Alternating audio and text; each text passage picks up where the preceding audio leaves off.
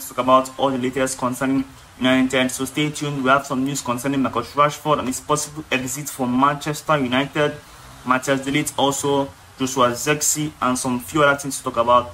So don't forget to stay tuned for everything. Like the video, leave a comment, and tell me what you think about everything discussed about in today's video. And don't forget, it's not my opinion. I'm bringing you the news. So choose to believe it or not. Some of them are false, some are true, some make sense, some don't, but it is the news. I'm bringing it to you, so tell me what you think about every news I'm going to discuss about in today's video. And starting with Marcus Rashford, according to the Manchester Evening News, not according to me, according to the Manchester News, it says Man United have ruled out the possibility of allowing Marcus Rashford to leave amidst a possible adjustment to the player's representation it is understood that Rashford's brother has held discussions with an agency to potentially assist in managing the United forward. Man United are also conscious that potentially lucrative sales of academy players would, would represent a pure profit under the Premier League's profit and sus sustainability rules. PSG are confirmed admirers of Rashford, rated at around 80 million pounds, and they remain in the market for a forward to replace Kylian Mbappe. And he also says United sources insist that their preference would be to keep Rashford and help him regain the form of his 30 goal season in 2023 as 2022. However, the club have not dismissed the possibility of allowing Rashford to leave. Tell me in the comment section, would you sell or would you keep Marcus Rashford? But this is what this was from the Manchester Evening News. First things first, I don't think Rashford is going to go anywhere. I don't see anybody who's even going to buy him. I don't see anybody going to pay that amount of money to buy him. I feel like youth player. He has been here for all his life. Mark born and bred. I don't see any reason why we would sell him. Instead, we would, we work with him to regain his form, just like the article says. United will choose to work with Marcus Rashford to regain his form that he was on when uh, came in the first place. So Marcus Rashford um, reports coming out that reports coming out that he's going to go his first. There were also reports that um, he has some issues with Erik Hag that they they're not in good terms. I doubt that. In the FA Cup final, Rashford was start, started in the first team, and that was done by Erik Ten started in that final, even when he doesn't really have to start him. He benched Garnacho and started Rashford. So would the manager that starts in the FA Cup final, even when you are shit, have any issues with you? So do I think Marcus Rashford is going to be sold? No. Do I think he's going to have a good season next season? Yes. He has been on social media break since the end of the season, and with the balls around the team, there's no way Ten Hag is going to have a bad season. And since we're going to have a good season next season, almost guaranteed, um, Marcus Rashford is going to have a good season. Marcus Rashford has never had back-to-back -back bad seasons before. He's always one season good, one season bad, one season good, one season bad. So there's no reason why he wouldn't have a fantastic season next season. So stay tuned for that. Marcus Rashford is not going anywhere. I don't think that's going to happen. Let's just hope that he can regain his form. If he has another bad, if he has another bad season next season, then summer of 2025, definitely we'll be looking at selling him. But for now, we gave him 300k to 250k per week. Signed a new five-year contract last year. Marcus Rashford is going nowhere. He's going nowhere. He's here to stay. We have to manage him, cope, him, cope with him, and hope that with the new structure around the club, he can do well and he can prosper because he's not going anywhere. We have to stick to him, stick by him. He's our youth player um, even if we're going to sell him, even if selling him is going to give us lots of money, that's not going to happen. PSG are the only rumored interest club, interested club in him. Who else? Nobody else. So where is he going to? Who's going to pay 80 million pounds for him? Nobody. So Rashford is going to stay. But let's see how he performs next season. And this was some breaking news from Fabrizio Romano earlier today concerning de Ligt. He says de Ligt has given green light to Man United move after direct contact with his camp.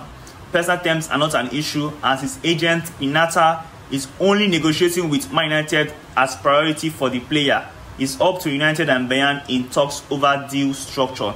So it was also reported by another source that De Ligt will be willing to take a pay cut to join United. Dutchman earns around 15 million um, euros per year at Bayern. United would like to offer him below 12 million euro. Uh, according to the reports, De Ligt will be willing to take a pay cut to join United. He's on around 250 uh, uh, euro per week. That's too much, and we can't offer him that. So if he's willing to come down to 200, that makes perfect sense. But according to the reports, the lead deal is still progressing. We went from um, Joseph Zexi, Ugarte, even Todibo, Brightway being like the first signing we could do to now it's looking like De Ligt might be the first signing for United. We might probably get a year we go very very soon, just for Man United and Bayern to agree for a fee, and that fee is is going to be structured fee. Bayern wants 50 million euro. United want to pay around 40 million euro at first, and then they can structure the deal uh, moving forward. But it says um, United United opening offer was a package of around 40 million euro. Bayern initially wanted more than 50 million euro, but they are now willing to let him go for 50 million euro, including add-on and a potential sell-on clause. So let's see what they negotiate.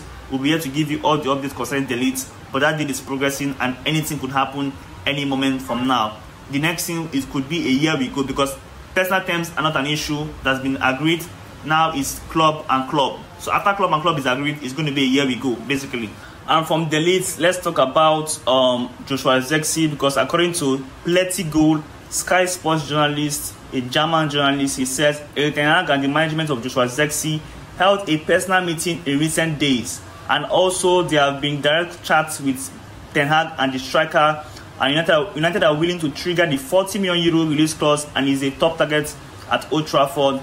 But AC Milan are still in the race no final decision and from Zirkzee yet as he's focused on the Euros. Remember, Zirkzee is Dutch, De is Dutch, both of them are in the Euro squad, but it seems that the deal for Zirkzee might be done after the Euros, but I think Netherlands plays today, so he might be out of the Euros today, maybe, we don't know, but he's going to make a decision after the Euros.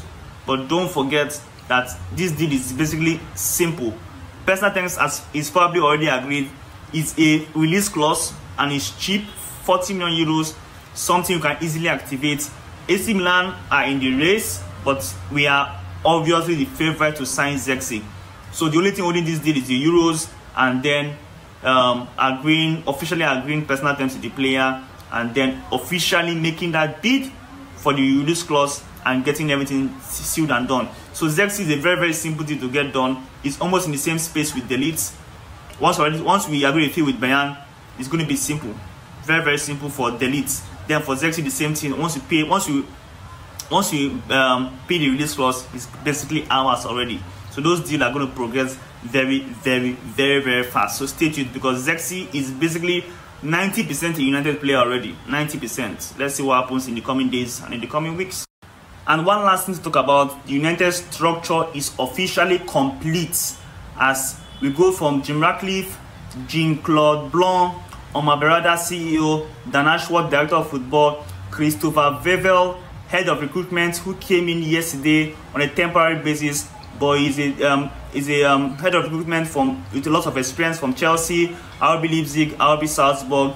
Very, very interesting uh, man. We'll see what he can do for us in the summer transfer window because he was brought in to stay um, for a temporary basis um, to help us in this summer transfer window, and he will have some targets that he would have in mind. He was the one involved in, in signings like um, um, Erling Haaland, Patson Daka, and some other signings from Leipzig and also RB Salzburg. But he was at Chelsea for a very short period, but he was sacked. But whatever happens at Chelsea, no one really cares. But he's a very, very good um, head of recruitment for us. We also have Jason Wilcox, technical director, and then Erik Ten Hag. They say too much cook spoils the broth, but um, these are one, two, three, four, five, six, seven people that are going to have input in terms of player coming in and player going out. Too many, too many of them. But Serge Ratcliffe, Jean-Claude Brown, I didn't even mention David Brailsford. That's eight people that's going to be involved in players coming in and players coming out. That everything has to go around them. Too many people, but let's see what happens. But the Ineos team is complete. The Ineos team is complete. Let's see how this progresses. In the coming weeks, we can see, we will see what kind of players we sign and what kind of players we sell that's going to this first season is a very very huge season for the Ineos group because they have to make a statement of intent for that team. You have kept Ten Hag, you are giving him two new managers. Then what next? Selling the dead wood and bringing in good players that will do well. But of course, not all players is going to do very well for us. But at least 70% or 60% of these players have to perform. It's not easy to get every transfers right. But at least from now on, pay less money for players pay less wages to these players so that if they don't work out well, we can sell them easily. That's the main thing.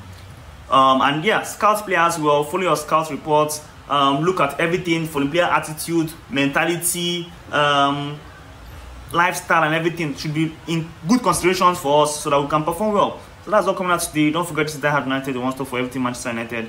I will see you on the next one. Let's see what can happen with Ineos Group at the club. no, let's give them let's, get, let's give them the benefit benefit of the doubt and see how they perform in this summer transfer window.